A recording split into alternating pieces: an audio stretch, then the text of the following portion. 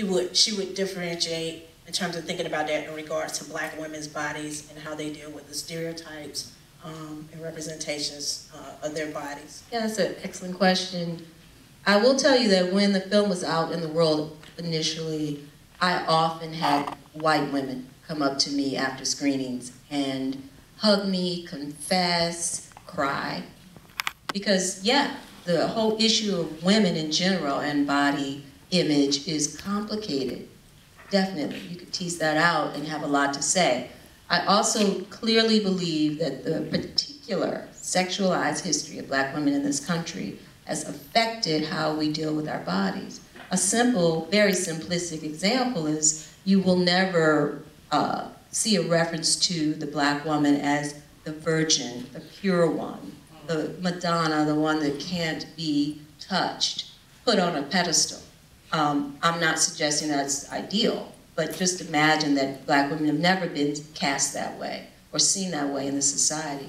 When we talk about objectifying women's bodies, in the you know early on, that was all meant to refer to white women, like the kind of there wasn't objectification going on with black women's bodies. There was a kind of fetishizing and a very direct ownership.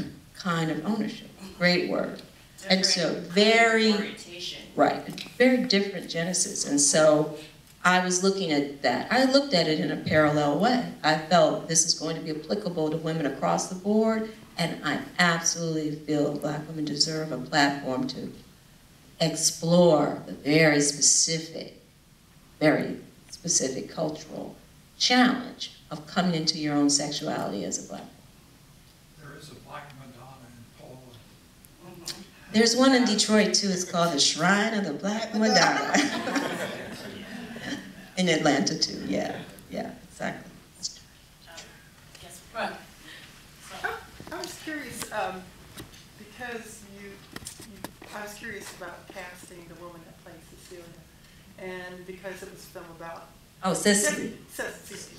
And I was wondering about your conversation with her about oh by the way at the end you have to do this. Was it Oh, there was no oh, by the way. yeah. It was always, I, at one point, had seen her performances. She was a very um, talented, prolific, what we call uh, sort of like um, actress who was working in experimental work throughout the city. And so I've seen, I saw her a couple times. I just, I was determined I wanted her in the film. And so at a point, in one of those revisions, she was the one I was thinking about as I was rewriting the story. And I told her, I've basically written this part for you. And so, again, long conversations about her comfort level. And she said to me, I feel I'm ready for this in my life. Like, this came to me at the moment, I need to do this. And so that was how we began to have those conversations. And I've written about this because I thought it was important to document. I this is what I feel being a, a woman director and perhaps being an African American woman director makes um, distinctive about uh, my about making film, and that's that I thought very long and hard about the exact moment in the production when we would shoot that final scene. I really gave a lot of thought to that, and I had conversations with the principal crew, and we finally decided. I decided that I wanted her to have a few days shooting easier scenes on the set. Everyone could kind of bond and get that vibe that happens.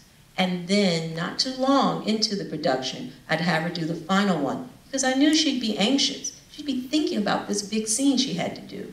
And I wanted her to reach a point where she could get it out of the way.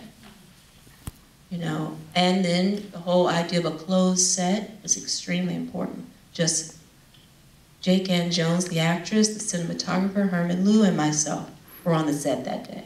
And everything was about her comfort. What do you want? I want to play Annie Lennox. I love her. All right, you're going to have her. Don't worry, the sound, there's no sound here. Just do what you have to do. The other thing I tried to be very conscious of was I'm not one of these, you know, I feel there's a kind of aggression sometimes with directors. They brag about how many times they have the actors um, do takes over and over, like it's this macho thing. That's brutal. And it can be really debilitating for an actor who has to get it up literally every time. And I said to her, we're gonna, And eh, hello, literally. I said to her, we're gonna run through this twice, and we're not stopping you. You do whatever pace you want, you do whatever you need to do, let's just run through it. We're just shooting, go. You know, action.